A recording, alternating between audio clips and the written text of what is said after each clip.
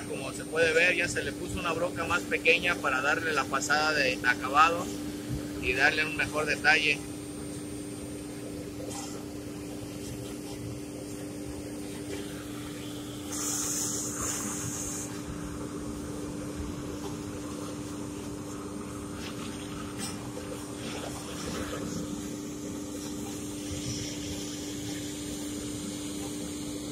La broca que se usó es una broca de 3 milímetros recta.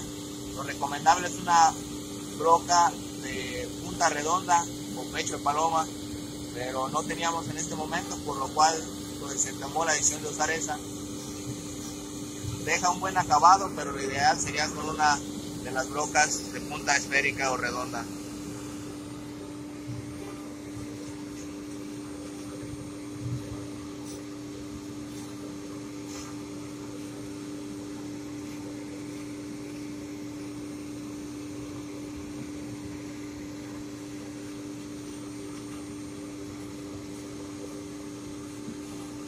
La velocidad de corte es de 4.500 milímetros por minuto a 24.000 RPM.